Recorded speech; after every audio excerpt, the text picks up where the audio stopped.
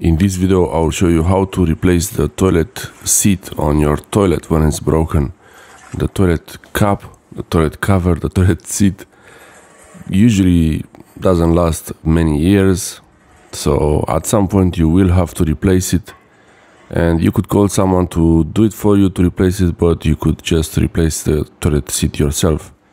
Usually it has two points where you attach it to the toilets, the, the actual toilet bowl the brand doesn't really matter. You just get the the most strong toilet seat that you can afford really.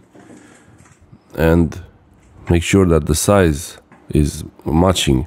So you should uh, measure the toilet bowl uh, the length and the width.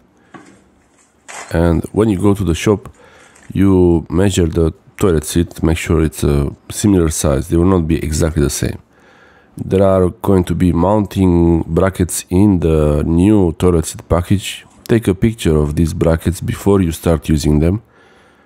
And just to make sure that you don't lose any parts and you install them in the right order. In my case here I have a key for a toilet seat. You can remove it, but it doesn't match with the old bolts from the toilet seat. Some of them they might have an easy way to remove it really depends on your luck here. So mine is just a regular bolt and nut and I have to use uh, pliers or uh, adjustable wrench adjustable adjustable tool any tool really that you can use to unscrew this bolt.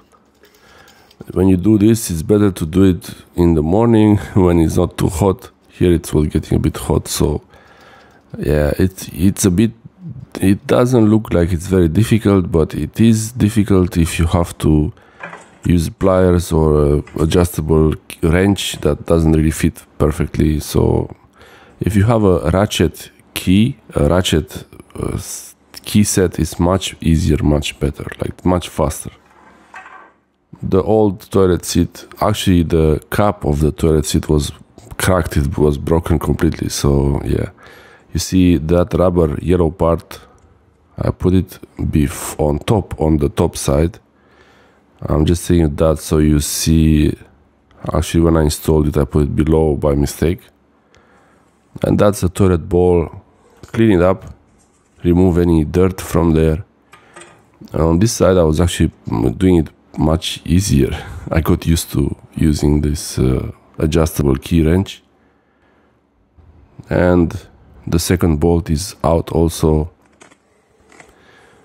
Same way I remove I remove the second bolt. This might be completely different for you.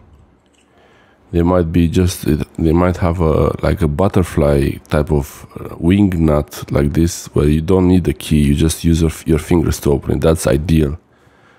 But these ones didn't have it.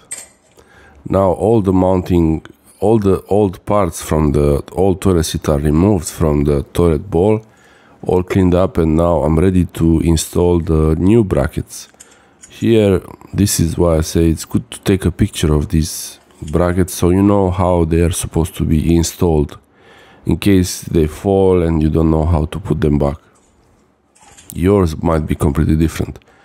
One tip I could say is better to get toilet seats that have metal brackets even the hinge to be metal like like on this one the metal brackets they last longer. I've noticed the plastic ones they break much easier and they they don't work properly anymore. Before inserting the brackets, align the toilet seat on the toilet bowl to make sure it can sit straight and it's not too small or not too big. If it's a little bit bigger than the old one, I don't think it's a problem, but also the holes must align to the, the the brackets on the toilet seat. So basically what I'm saying is the toilet bowl has to be compatible with the toilet seat.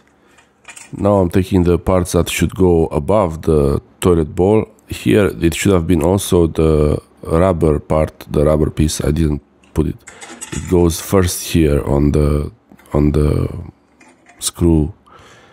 But the plastic cover there is to protect the ball so it doesn't the metal doesn't touch the ceramic of the ball. And the inside also that soft soft rubber is to secure the the ball and make sure that the metal doesn't touch the ball. But it's there is a hole under it. And yeah aligning it's important here. It's important to have the toilet seat straight but it, it is adjustable so if you don't align it perfectly from now it's not really a big deal.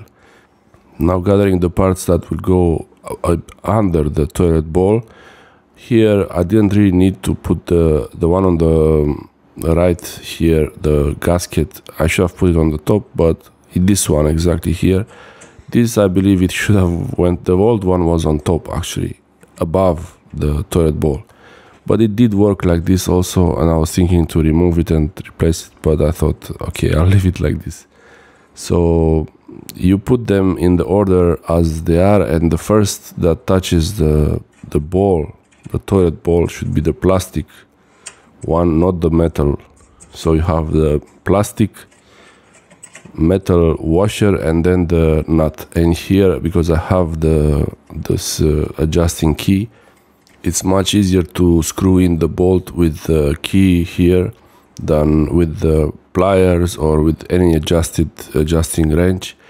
There might be actually I will put a link in the description to special key for the toilet seat but the sizes they might be different so the one that comes with your toilet seat try to keep it somewhere in your toolbox so when you need it later you can just grab it and use it again if if your toilet seat came with one or you can purchase one in the shop when you go or when you order it. If you order it online i will put links in the description for toilet seats and tool sets used in this video. With this key you can actually don't even have to go under the toilet like I was doing it before. You you just adjust it from here, and the, the what I did is I adjust it slowly, slowly on left and right, and then check if it's straight. If it's not straight, I adjust it a little bit, I move it a bit, and then I tighten it more. It's important not to tighten it uh, very a lot on one side and then tighten the other side also, it's important that the plastic parts cover the metal parts in case when you tighten it, it happened to me that one of these uh, top covers, the plastic under it, it was coming out, so I had to undo the tightening and uh, align it again because you don't want the metal to touch the ceramic. In that case, it could scratch the metal ball or even break it. I'm not sure if it could really break it, but you don't want to go that far. Now it's ready brand new turret seat. Most important is to have metal hinges and the, the hardest metal, the thickest uh, material you can afford, really. No need for the color preferences, it's actually, it's up to you. The thickness matters. Thanks for watching.